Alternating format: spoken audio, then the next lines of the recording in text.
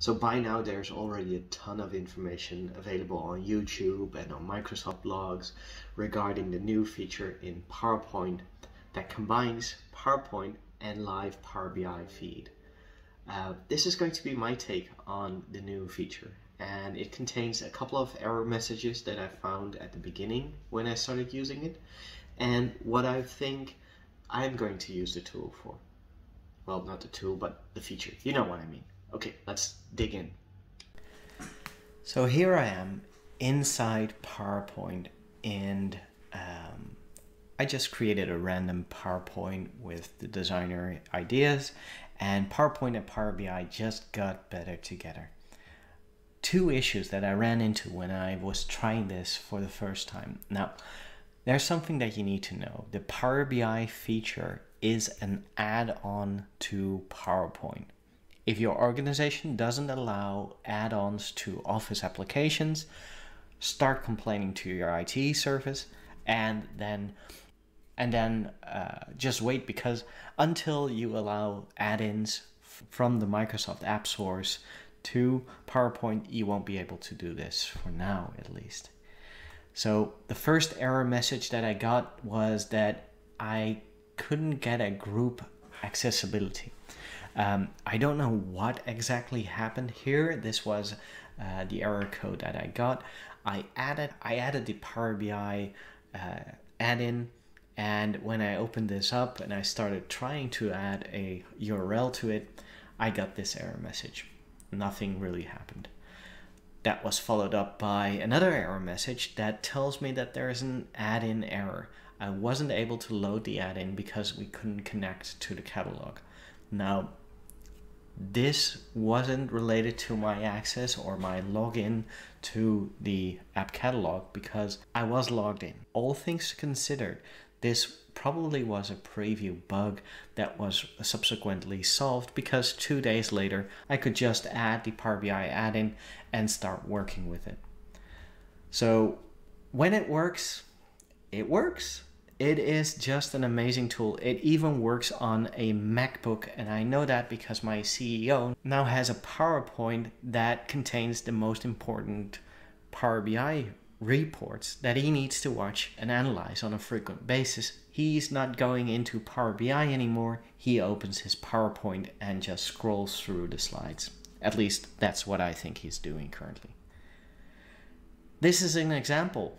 During the presentation, I now have a MailChimp campaign comparison report, which is in my personal Power BI workspace.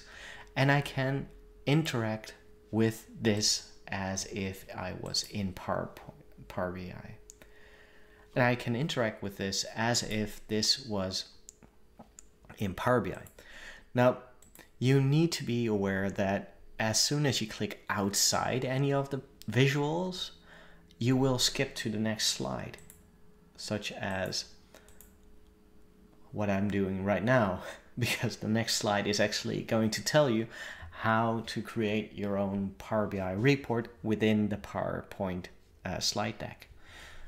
So let's have a look. So from the PowerPoint presentation, I can see that this is a new add-in. It is the Power BI add-in that we're talking about today. It has one parameter that we need to fill in, and that is the report URL from the Power BI. And then we have the option to click on insert. How did I get this um, visualization here? Well, there is an insert option in the tab, and there is a Power BI uh, toggle here. Enhance your PowerPoint storytelling by including Power BI reports directly into your presentation. If you click on this button, you'll get another one of these slides. Let me, let me show you that. So I can even click in a current uh, frame and if I click on Power BI, it will fill that frame. So you can even pre-build how you want that visual to show up or how you want that report to show up. You can edit the length and width or the height and the width of your uh, slide, your Power BI slide. How do we get that URL? Well, there's two ways to go about this. You can either navigate to your Power BI report and just copy this one and, uh, and go about your day.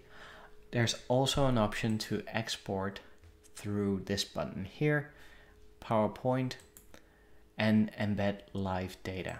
Now, if you click on this one, you'll get the option to embed the report with the data filters you have currently selected. That means that if you already have a filter or a certain set of filters that you want to pre-use in your PowerPoint, make sure to go through the export and then the live data PowerPoint. Here's another mention that currently this is a preview feature, so it might have some bugs in here, but trust me, it's going to be awesome.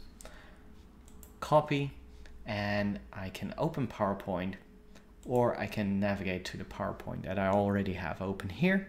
And then I can just paste that URL and you can see that there's a there's a suffix in this application from Power from entry point export and it has some more information in here. Um, I click on insert and magically my report will appear. Now obviously I want to include my project online or my project for the web reports in here. And it's as easy as one, two, three. Here is the content pack that I've enriched with my risk matrix that you probably already have seen if you're a frequent viewer of my channel. This is just a page, just like any other. And as long as I have access to that URL, I'll be able to click on export, go to PowerPoint, I can embed an image or I can embed the live data.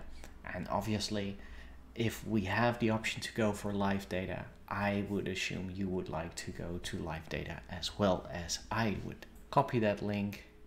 It tells you that it's copied to clipboard and navigate back to our PowerPoint. And on a page that we haven't filled in yet, we'll just paste that URL and I'll click on insert. Now be aware, this takes into account the permissions you as a user of PowerPoint, but also Power BI have to the data. So if you're getting a report from someone else that has different permissions than you do, you will see different things, or you might even not be able to see anything at all. Um, that is something to be aware of. However, this new feature, PowerPoint with Power BI live embedded, is amazing. Now as the page loads from the content pack with Risk Matrix, I'm probably going to follow this video up once the feature is out of preview and it's generally available because I think there's some little kinks that still need to be fixed but other than that it is an amazing new feature and I'm sure you would like to have this as well. Let me know in the comments below what you're going to use this for and make sure to subscribe to this channel if you like this kind of video. I'm doing videos related to Power BI as well as Project for the Web. Thanks for watching. Until next time.